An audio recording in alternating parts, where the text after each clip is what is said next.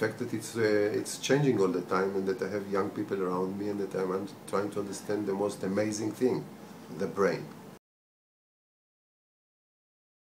Yes, this is the moment because things are happening uh, dramatically. There is a huge change. It's a revolution today.